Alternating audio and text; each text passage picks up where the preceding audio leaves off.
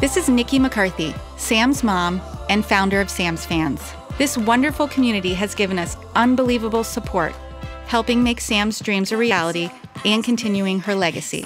A special thank you to all our sponsors, and especially our friends at Thread, Flying Horse Farms, and Nationwide Children's Hospital for being our mission partners. To stay connected and up to date with upcoming events with Sam's fans, please visit our website and Facebook page.